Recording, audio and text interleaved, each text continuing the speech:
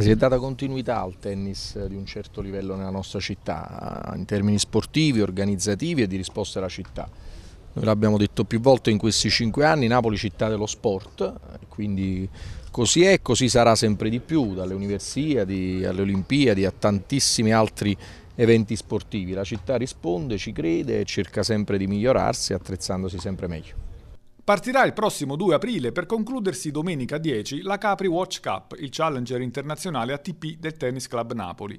Oggi alla conferenza stampa di presentazione il comitato organizzatori ha illustrato il programma tecnico del torneo, che nel cartellone ha i nomi dei campioni più importanti del tennis italiano ed è stato sostenuto dal mondo imprenditoriale napoletano. Il Capri Watch Cup è una delle manifestazioni che in questa primavera rappresenta un punto di forza della città, oltre che per lo sport, anche per l'attrattività turistica.